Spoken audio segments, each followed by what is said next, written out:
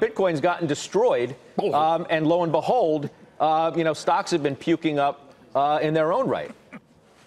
What investors need to understand is that there is a connection between Bitcoin and the basic social mood of what was speculation is now a little bit more, uh, you know, uh, cautious. Bitcoin peaked about a week after I said short it on your show December 13th, and it was at 17,250 and it went to 20,000. Of course, today it's on the low of the year. It's down below 7,000. But what's interesting is Bitcoin very clearly leads risk assets, and let's just talk about the S&P 500.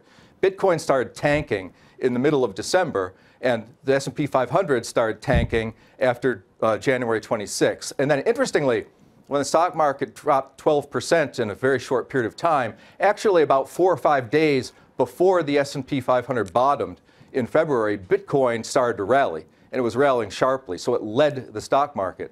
And then Bitcoin actually started tanking again from 12,000 a few days before the S&P 500 and other stock indices started to take gas back a few weeks ago. And interestingly, Bitcoin then started actually on Monday when there was a drubbing for the stock market, Bitcoin was actually rallying. It was up on Monday and then rallied sharply Monday night into Tuesday morning, and since then we've had a stabilizing, you know, pretty decent update in the stock market. So what's, what's fascinating is how people don't understand that Bitcoin hmm. is the poster child of the social mood and the speculative kind of animal spirits.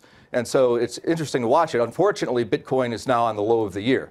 It's down very significantly uh, uh, today. So it kind of shows that the volatility in the stock market that I've been talking about, I mean, I tweeted out back when the NASDAQ hit its all-time high that day, and it seemed like maybe the coast was clear, and a lot of people were talking about, you know, this bad dream was over about volatility. You'll, you'll notice that volatility is not gone at all. Right. In fact, we're in a, we're in a new regime of volatility. I remember back in, uh, in the summer of last year, we talked about the VIX being below 10 was not something that was going to be sustainable, and that my highest conviction idea was that volatility was going to return.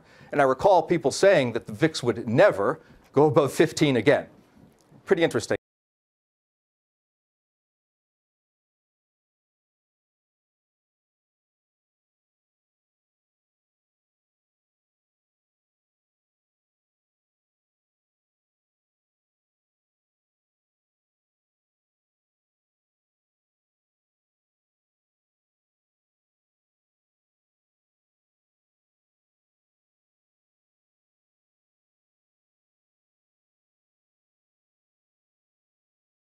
Hey there, thanks for checking out CNBC on YouTube. Be sure to subscribe to stay up to date on all of the day's biggest stories. You can also click on any of the videos around me to watch the latest from CNBC.